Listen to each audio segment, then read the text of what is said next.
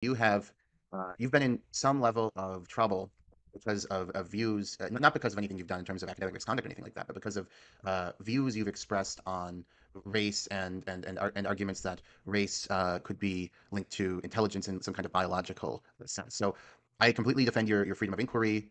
I would stand up with you and sign any petition if people were trying to vilify you. I think it's absurd. We can't go after people for. You would sign the, the pro Cofnas. No, yeah, yeah, hundred percent. Come on, yeah. I wouldn't be platforming you if I were an anti. But I will challenge you on this on this point, and I, I think you'd run rings around me if we talked about the actual um, argument. I mean, my, so this is the crazy, crazy thing that we live in. A channel with 320 subscribers.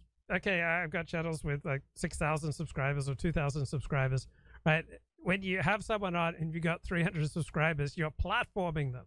Right? This idea that, that history speaks is platforming Nathan Cofnas because he's got a, a channel with 300 subscribers seems seems a tad stretch to me.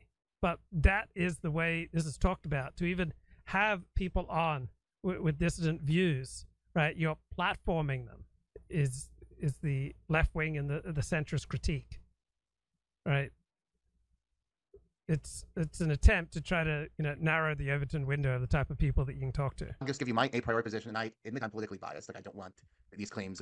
Okay, so if you're doing an interview, there's no need to give your a priori position, right? There, there's no need to frame things in a moral way, eh, there's no need to begin questions with, with stating your own feelings about a topic, particularly when you don't know anything about the topic. All right, Matt here from History Speaks knows virtually nothing about the topic, but yet he feels the necessity of stating his opinion before someone who knows a great deal about the topic. And earlier in the interview, talked about moral realism with, with Cofnas, uh, a, a PhD in philosophy, right? And you know, Matt doesn't you know doesn't have anywhere near the standing that Cofnas does in the field of, of philosophy.